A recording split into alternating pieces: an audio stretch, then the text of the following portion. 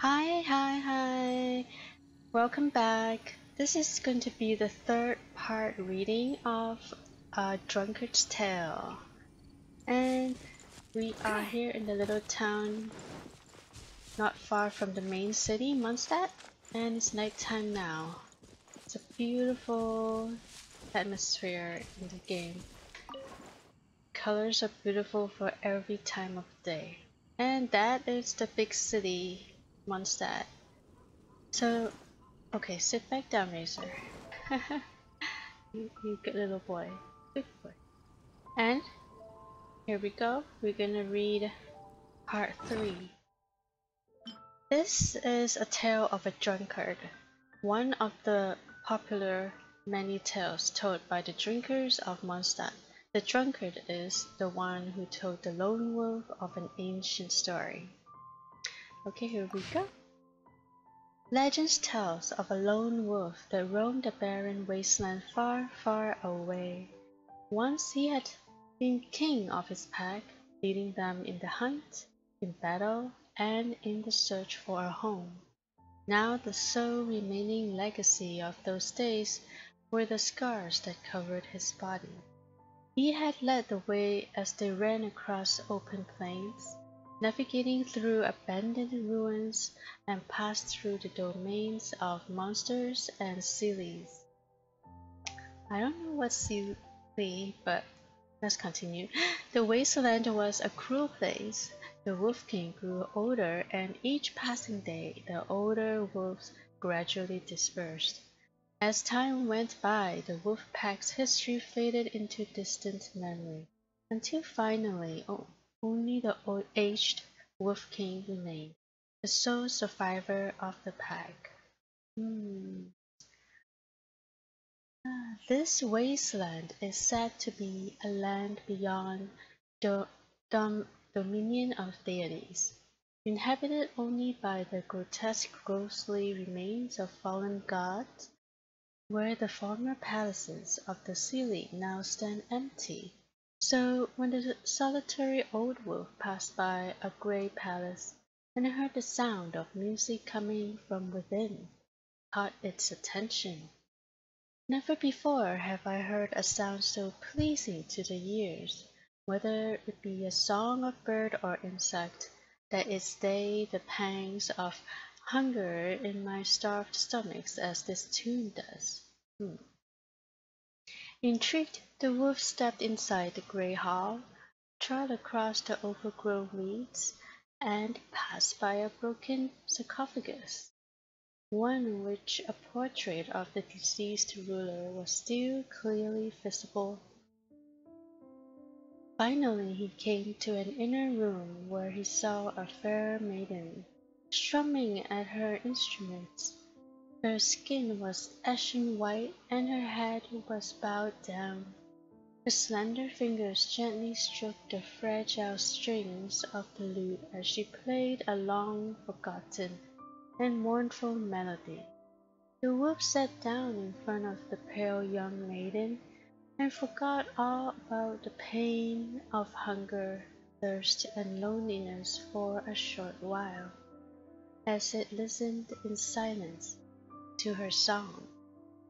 The chirping of insects on a long gone autumn night is the chorus of exiles, singing mankind's most ancient song as they live out the plight. Stripped of all that the body once held close and the soul once held dear, songs and memories are all that now remain of yesteryear. The last singers, the first Seelie, they played the final tune in the Hall of Angels. A tiny Seelie playing in the forest were also drawn to the young maiden's tune, flocked to her to pay their respects. What is this song that you play?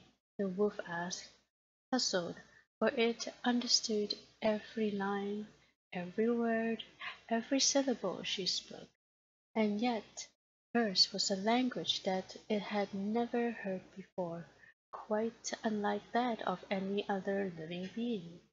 "A song of the Seelie," replied the pale young maiden in soft voice. "Long, long ago we wrote this song for the human savages, yet now we sing it to mourn our own fate."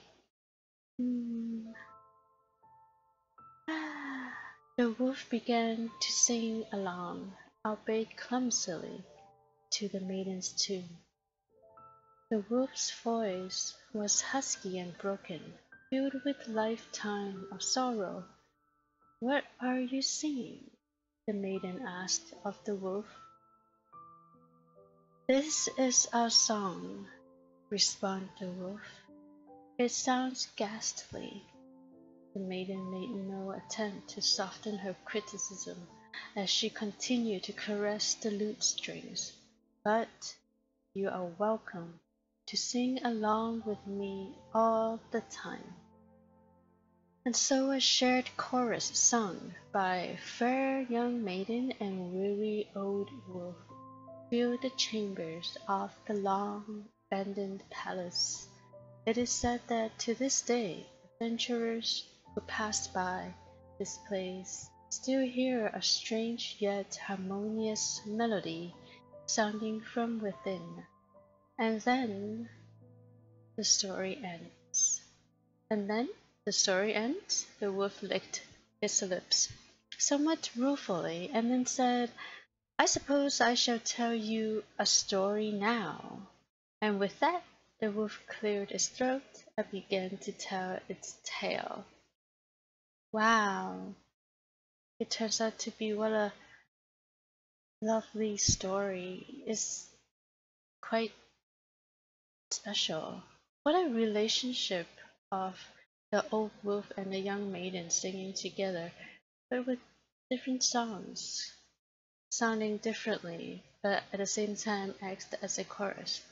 I enjoyed this series so far. Oh, I hope to find the fourth one if there is a fourth one, and see what the wolf story is. What a wonderful read. Well, thanks for watching, thanks for joining in, and enjoy the rest of the day, or evening, or night, or morning, and this game, exploring the world, just have a good time. Thanks, thanks again, bye.